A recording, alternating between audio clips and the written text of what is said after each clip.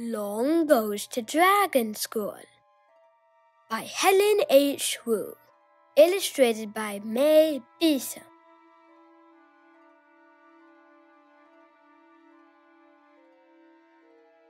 Today is the first day of Dragon School. Long is excited about his new adventure, and so are his classmates Camilla, Willie, and Mia. Welcome to the class. We're here to discover your unique talents. Professor McKay says. First, we'll learn how to use our fire breath to cook food. I've read that in a book. I can't wait! I can't wait! I'll be careful not to burn my toes. Oh no, Long worries. Where I'm from, everyone breathes out water, not fire. Professor McKay gathers everyone and picks up a big potato. Who likes roasted potatoes? I do. I do, I do. I do. What can I do? I can't roast potatoes with water, Long thinks. Now watch closely. Professor McKay says. Relax your body, focus your mind, feel your power. Fire you'll find. Frizzle, frizzle, cruise. A bright jet of fire comes out of Professor McKay's mouth, and just like that, the potato is fire roasted and ready to eat. Now it's your turn, Professor McKay says. When you're ready, we'll have a picnic. Everyone will join in cooking the food. It's time to practice. Relax your body, focus your mind, feel your power. Fire you'll find. Camilla's face turns red. Willie sneezes out a plume of smoke. Mia coughs up a gob of ash. Long huffs and puffs, but all that comes out is a shower of water. He taps his feet, thinking, I have to look like I can breathe fire. Long looks around and sprinkles some dust on his nose. Achoo! You'll find your own path. Professor McKay tells the class. It takes time and lots of practice.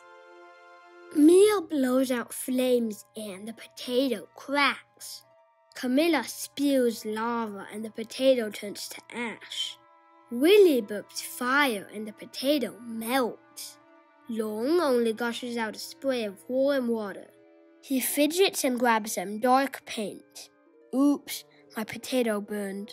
You're making progress. Keep trying. Long finds a hidden place to practice. And practice. And practice some more. He concentrates. He meditates. He resorts to experimental methods. He tries drinking hot tea, eating spicy chili, and letting the sun warm his belly. But nothing works. Long only spouts out warm, warm water. This is hopeless, Long sighs.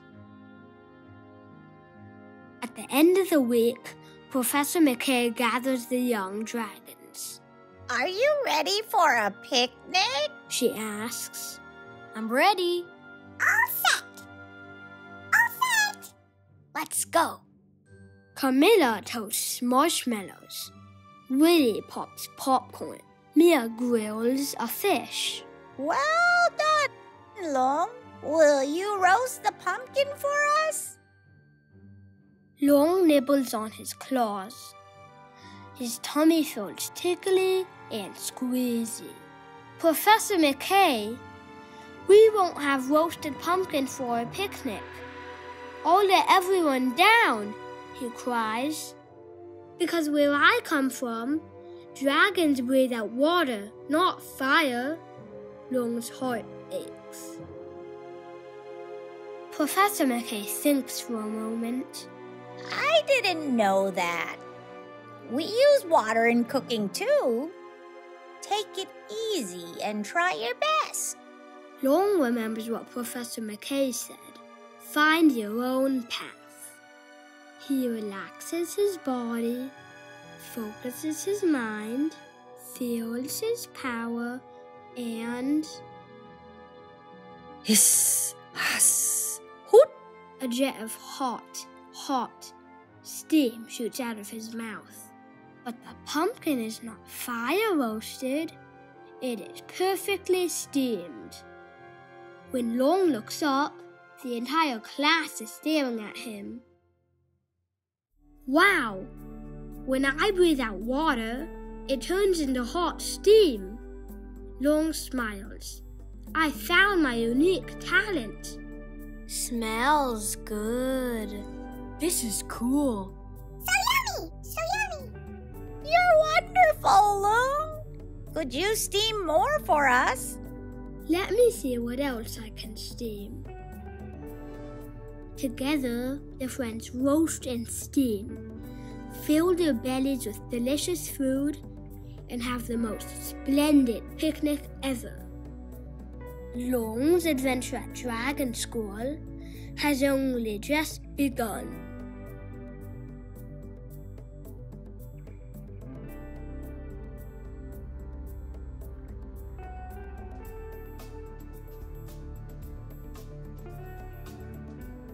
Hope you like our video. Please subscribe